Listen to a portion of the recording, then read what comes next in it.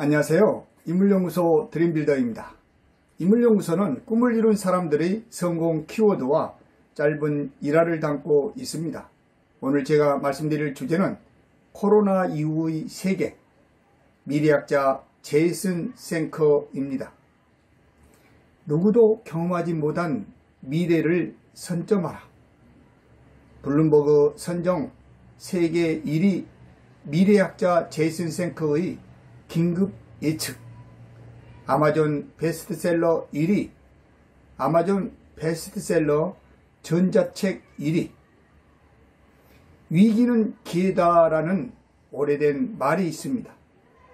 위기라는 말은 기존 질서가 도전을 받아 해체될 위험에 빠졌고 이제 새로운 질서가 형성된다는 의미이기도 합니다.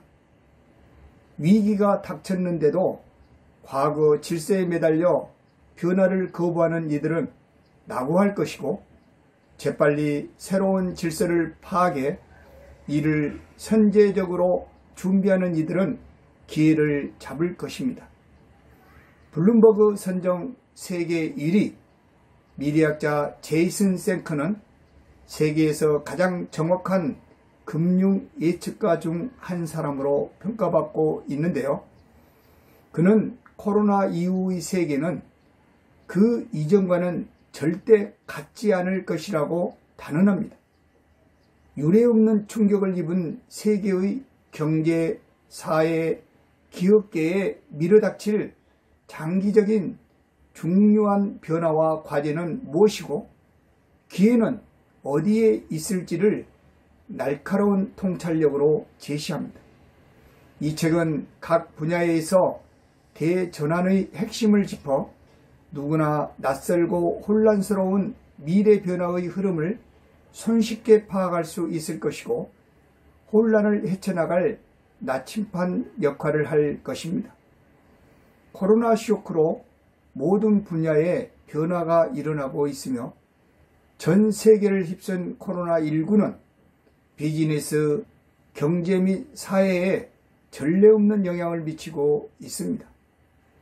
미래학자 제이슨 생크는 코로나19 경험이 미래의 직업, 교육, 건강관리, 공급망 등을 포함한 주요 분야와 산업에 미칠 장기적 영향과 미래 변화를 날카롭게 예측하고 있습니다. 코로나 이후 일자리의 미래는 어떻게 될 것인가? 코로나 이후 교육의 미래는 부동산, 농업, 미디어, 국제관계의 미래는 어떻게 될 것인가? 심각한 타격을 입은 여행과 내저 산업은 어떤 인식의 변화를 겪고 전망은 무엇인가? 앞으로의 리더십은 어떻게 해야 하는가? 수많은 질문에 대한 해답이 궁금하다면 당장 제이슨 생크의 해안을 일독하시기 권합니다. 전 세계를 뒤흔든 코로나19 팬데믹으로 유례없는 충격을 입은 비즈니스, 경제, 사회는 무엇이 어떻게 달라질 것인가? 제이슨 생크는 오랜 기간 미래학자로서 연구해온 데이터를 바탕으로 앞으로 우리가 살아보지 못할 낯선 풍경을 보여주고 있습니다. 그 속에서 길을 찾는 것은 각자의 몫입니다.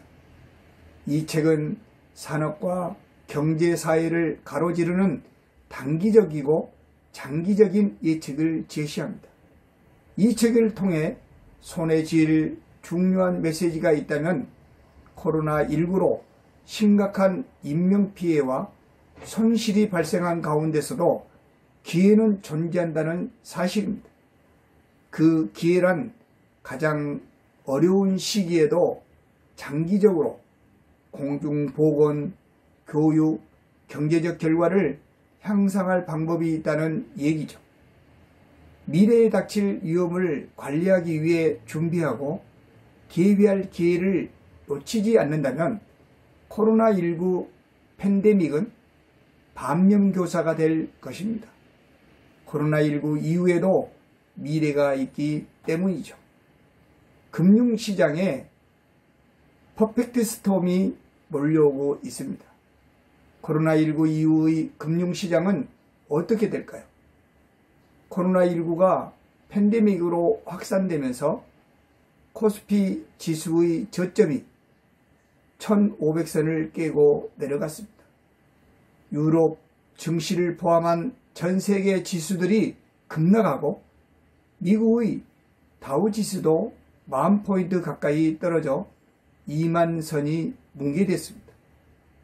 다행히 그 이후 조금씩 회복되고는 있지만 이대로 안정을 되찾을지 아니면 언제 다시 2차 폭풍이 몰아칠지 그 누구도 함부로 단언하기 힘든 현실입니다. 생크는 미국 서브프라임 오토론에 주목해야 한다고 말하고 있습니다. 2008년 금융위기의 여파로 주택 모기지로는 규제가 이루어져 왔지만 시장의 신용 확대 욕구가 오토론과 기업 금융으로 버블을 키웠고 이번 코로나19가 트리거 방아쇠가 될 수 있다고 주장합니다. 금융투자 관련 업종 종사자뿐만 아니라 이 분야에 관심이 있는 일반인들이라면 반드시 경청해야 할 내용입니다. 위기를 기회로 바꿔줄 미래학자 제이슨 생크는 제안합니다. 우리는 변화의 한가운데 있습니다. 현기증이 날 정도로 빠른 변화에 넉놓고 있다가는 살아남기가 쉽지 않습니다. 일자리에서는 원격 근무가 가능한 직종의 경쟁력이 올라가고 온라인 교육이 확대되면서 세 가지 트렌드가 나타나며 재택근무가 다양한 분야에 파장을 미치는 듯 미치는 등 이 책에는 귀 기울여 드려야 할 전망이 잘 정의되어 있습니다. 빠르게 변화하는 환경을 장기적인 기대 및 전략과 통합하여 제시하고 있습니다. 수많은 인명피해와 경제 손실을 불러온 이 위기 또한 지나갈 것입니다. 그러나 좋은 의미에서든 나쁜 의미에서든 코로나19의 영향은 향후 수년 혹은 수십 년간 그림자를 드리울 것이 분명합니다. 우리가 어떻게 일하고 어떻게 살며 여러 산업의 모습은 어떠할지 모든 부분에 코로나19는 영향을 미칠 것입니다. 위기가 지나고 나면 코로나19가 장기적으로 미칠 영향에 대한 계획을 세우는 것이 중요합니다. 각자가 처한 상황에서 계획을 세우는데 이 책을 이 책은 훌륭한 나침반이 되어줄 것입니다.